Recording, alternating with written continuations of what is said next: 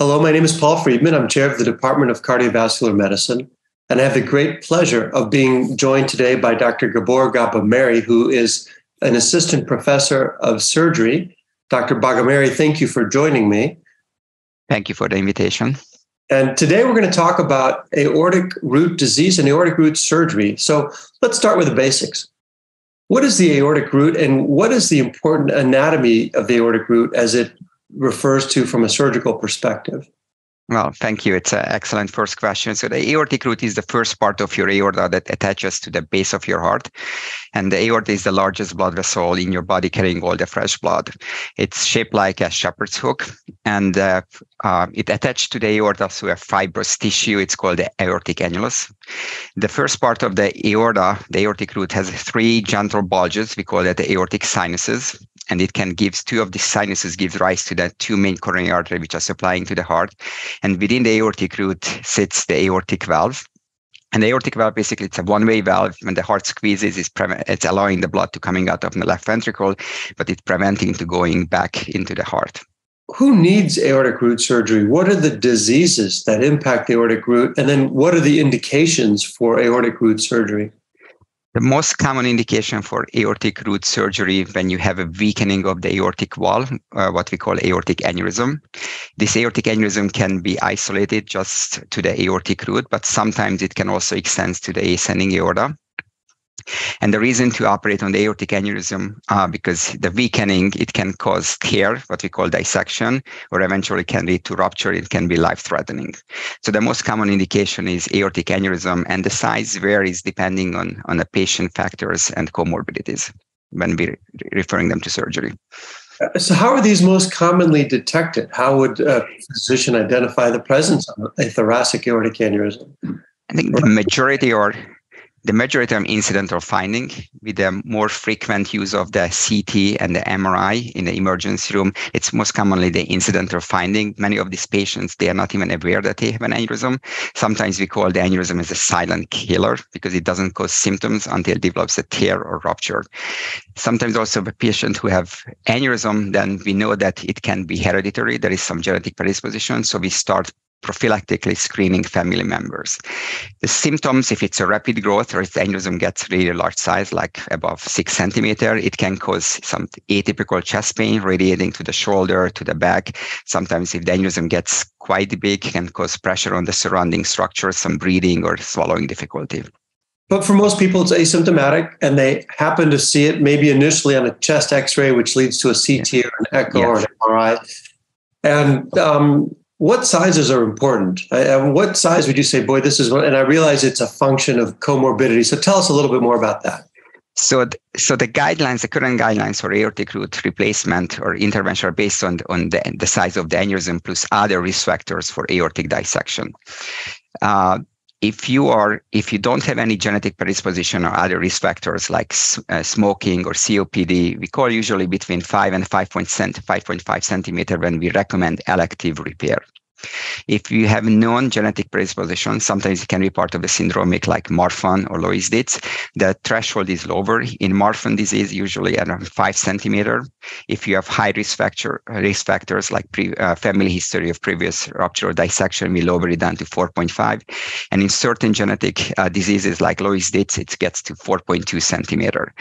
But in just in the sporadic incidental finding without any high risk factors, the surgical recommendation is between 5 and 5.5 centimeter based on, on, on the care team and the shared decision making. So, suppose someone has an aneurysm, it's large enough where there's a worry that the risk of rupture is high enough that surgery is needed. Review with us what the different types of root replacement surgery are. There are two main kind of aortic root replacement. The traditional, what we call the aortic root replacement or the Bentall procedure, when we replace the aortic root and also we uh, replace the valve. Sometimes the valve can have hardening, uh, calcification, or can be extremely leaky and the valve is not salvageable. In that case, we either use a mechanical valve or a tissue uh, tissue valve. Obviously, the mechanical valve, the advantage that is uh, the durability is lifelong, but you have to take Coumadin uh, warfarin anticoagulation, and there's some inherent risk of bleeding or clot formation. With a tissue prosthesis, you can uh, theoretically come off the blood thinner, but there's a limited durability, and I would say probably approximately between eight and 10 years across the whole uh, age population. The other option is the valve sparing root replacement, when we only replace the aortic root, but we're going to try to save the aortic valve. And this surgery is especially suitable for younger uh, patient or people who otherwise have normal functioning valve and they want to avoid anticoagulation. In terms of valve sparing, there are also different types of valve sparing. Do you want to briefly comment on those um, and how widely available are the valve sparing surgeries? So there is two kind of valve sparing procedure. One is called the Yacoub procedure or the remodeling procedure, which is usually more suitable for older people without any non-genetic risk factors for aortic aneurysm and it's uh, uh, very durable. The other is the David or the reimplantation technique. This is more commonly used, it's more widespread.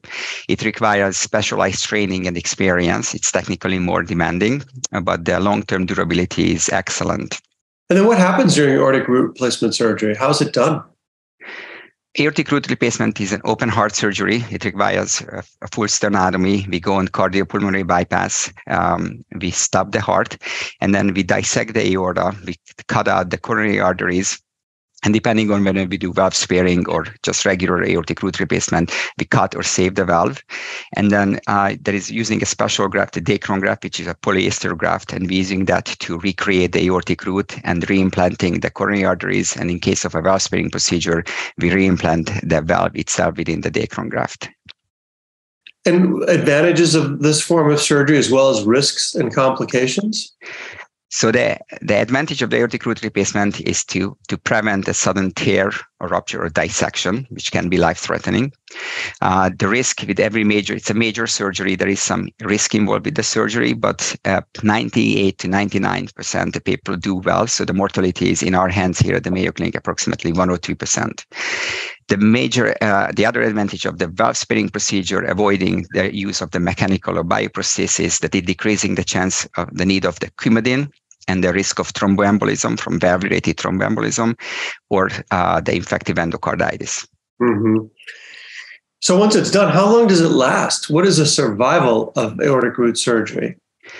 Aortic root replacement in when we use uh, the mechanical valve it's a lifelong hopefully never going to need repeat heart surgery unless it gets infected. There is always a small risk lifelong risk and it needs certain prophylaxis especially when you go into dentist to prevent the seeding of the valve. So the the uh, Bentall procedure is extremely durable uh, and the uh, majority of the people they don't need any reoperation. The valve sparing procedure depending on the valve type whether you have a tricuspid or a, a bicuspid aortic valve in a tricuspid aortic valve, in a, if used as successful, especially in the end, there is only minimal regurgitation. The durability in the next 10 to 20 years is excellent, over probably over 90%. In a bicuspid aortic valve, the, uh, the results are good in the short and the midterm results are excellent, but there is a high rate of reintervention in the longer term after 10 years. And then what should the clinician um, be mindful of and what kind of follow-up do you recommend if someone has had aortic root surgery, how often should their primary cardiologist see them? How often would you recommend imaging? What kind of imaging are you favoring these days?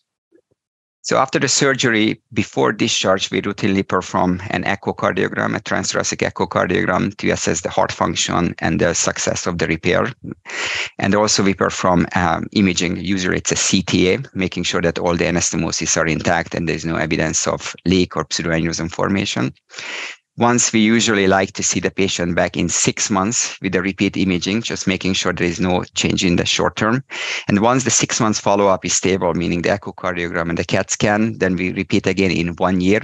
And then probably can be tailored, avoiding, you know, the unnecessary imaging techniques, but probably every two to three years following up with echocardiogram and, and uh, CTA or MRI.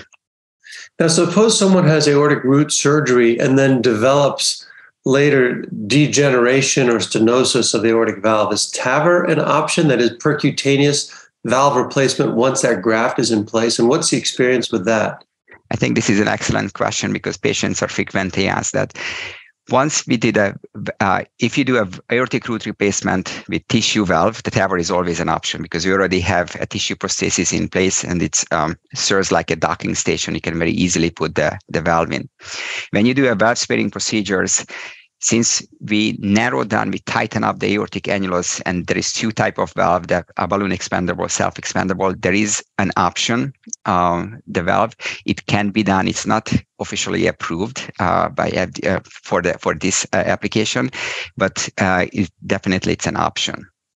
Or the other way is, is to go and uh, redo surgery, but most people try to avoid the redo open heart surgery if it's possible.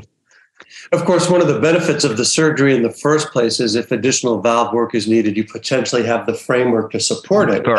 yes. Yeah. Yeah. Great. Well, Dr. Bagameri, just a fascinating topic, and really appreciate you sharing your time and expertise with us. Thank you. Thank you for the invitation.